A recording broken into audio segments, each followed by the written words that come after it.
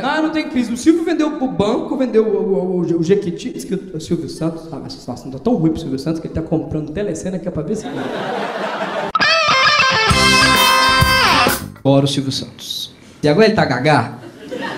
Ele chama pra, pra chamar, você vai participar, não, você é baranga, volta, não é bom?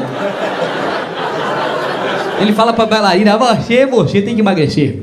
Você tem que emagrecer pra continuar dançando. E o Silvio, antigamente, ele tinha um óculos, a pessoa tinha uma plaquinha com o nome dela, não tinha?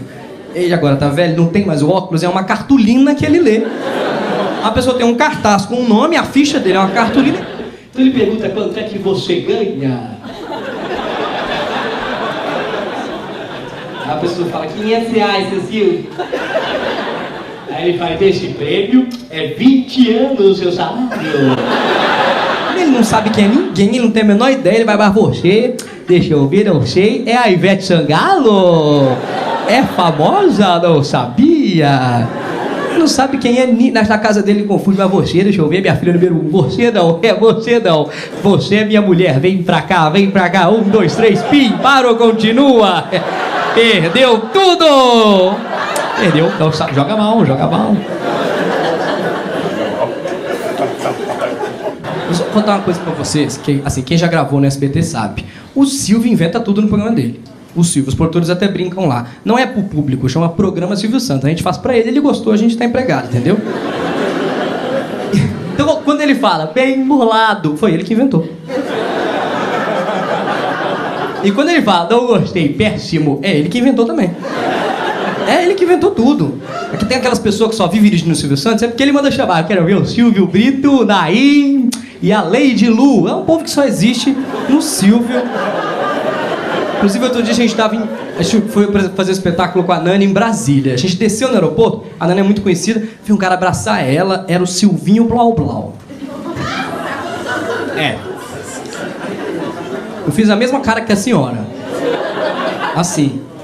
A Nani perguntou: Nossa, que foi? Você é fã dele? Eu falei: Não, eu achei que ele tinha morrido. Ele também pode ver, a gente ele vê os programas do mundo inteiro e traz para cá. Mas é só ele que vê, porque ele viaja, fica lá e ele resolve trazer o programa, mas só ele sabe como funciona. Então a melhor coisa para mim é o Silvio Santos tentando explicar como é que funciona um programa. Ninguém entende mais, pô, ninguém sabe o que está acontecendo. Tá lá o Sol Zé é bem fácil, é bem fácil, eu faço a pergunta, eu giro a carta, o X, você falou bola, você não veio, o auditório dobra, vem pra cá, eu faço a pergunta de novo, eles sabem, eu jogo pra lá, você não disse, você tem o X ali, tá o X, vale o prêmio, eu ligo pra sua casa, você responde, eu giro aqui, você fala atrás pra mim, vai até lá, a pessoa não, você escolheu, não escolheu, volta pra você, e aí é fácil, é, bem fácil, é fácil ou não é?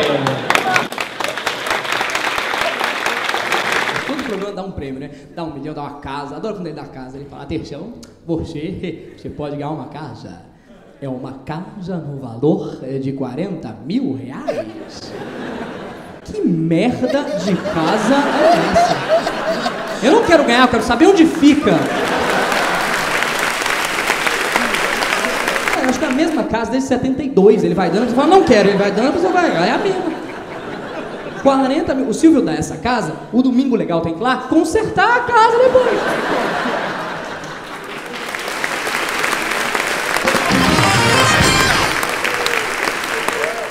E a pessoa acha que é mentira minha. Tinha um programa que chamava 7,5. Joga, joga aí no YouTube, vê se acha 7,5. O 7,5 era justamente isso. Tinha uma carta, virava, tinha um X, tinha uma bola, se inventava na hora, mudava a regra, e no final explicava o dilema do prisioneiro para a pessoa. Isso não, faz, não fazia o menor sentido. E o legal é que meio que eu podia continuar infinitamente falando isso. A bola, a carta, acerta, não acerta, já assistiu, vai pra você, bola, tem uma auditório, oi, ai, ai, ai, olha acabou. Gente, esse mundo, eu não sei o que aconteceu. A final do Campeonato Carioca foi no SBT. Vocês viram? Não, foi no SBT. Fla-Flu passou, passou no menino, passou no SBT, é que ninguém viu. Próximo passo é o futebol passar na Record, a gente achar que o futebol morreu.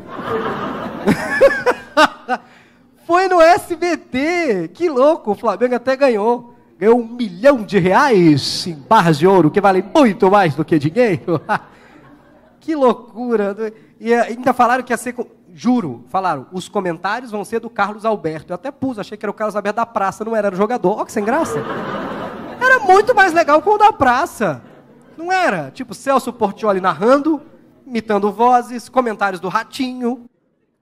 Ah, vamos debater o jogo. No caso de família. E empatou. Ótimo, resolvemos o torta na cara. Melhor jeito de resolver. Entendeu? Você assistiu o jogo, de repente, gol? Não, Jequiti. Olha que bom. É bom, muito melhor esse jeito de ver o futebol. Inclusive, ano que vem, é, esse ano só ganhou um time, o Flamengo, mas ano que vem, Flamengo, se passar no SBT de novo, Flamengo e Fluminense podem ganhar juntos. Porque vai poder ganhar com mais e menos pontos. O Silvio tá, tá tão ruim pro Silvio que a China tá comprando telecena pra ver se ganha. Silvio, gente. Tô pra ver a campanha. Por que usar a campanha? Aqui na Paulista, na sede do Banco Pan-Americano, ele põe uma caixa, uma caixa grande assim e fica. Devolva o seu aviãozinho. Devolveu o seu aviãozinho aqui, você ganhou, você não ganhou. Ou então no programa a pessoa perde e fala: Perdeu! Um bilhão, passa pra cá, um bilhão. Um bilhão. Silvio é muito bom negociador. Ele, ele pegou 2 bilhões e meio emprestado. E ele tem 12 anos para pagar. Silvio tem 80. Se ele não pagar, quem paga? Não tem mais chaves no SBT. Você não estava sabendo? Mas você ligou lá e estava passando, fofocalizando pela quarta vez, tu falou, quer dizer, triturando, fofocando, não sei o nome mais. Tava passando, nem sei que o SBT tá passando no lugar do Chaves.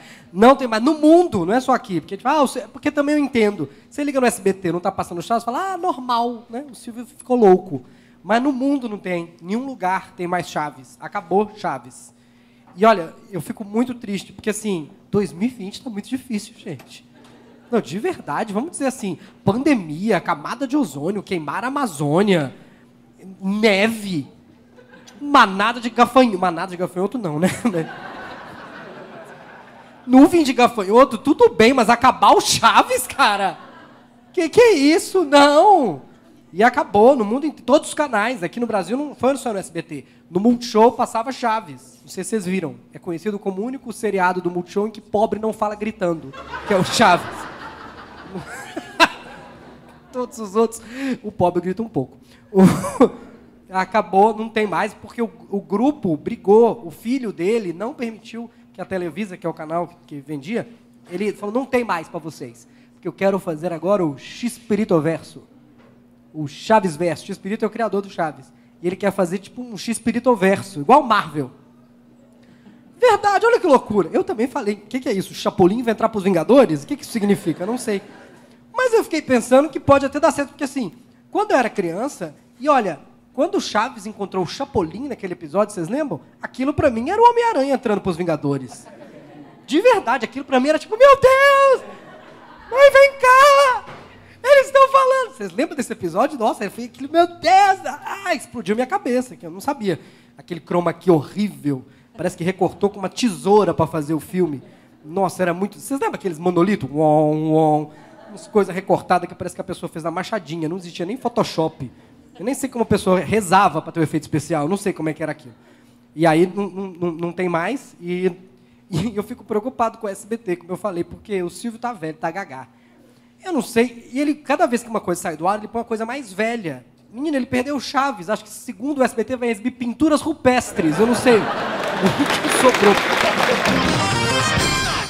Primeiro, muito obrigado por assistir o vídeo até o fim e quero dizer que este canal novo também tem seu clube de sócios. Seja membro, incluindo vídeos exclusivos de stand-up, erros de gravação do nosso programinha extra com os comediantes, programas que só você vai ver, além de todos os benefícios do meu outro canal, do Diário Semanal, que inclui ingressos para todos os meus espetáculos, chat secreto e muito mais. Seja sócio.